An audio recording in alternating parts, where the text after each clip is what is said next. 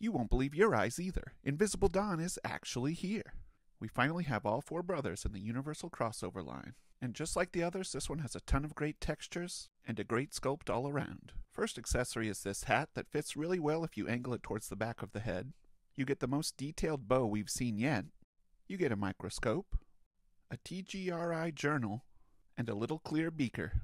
You get this super wild alternate hollow head with hair on top, a ton of gloved hands that have a really cool texture, and a set of clear hands for that invisible look.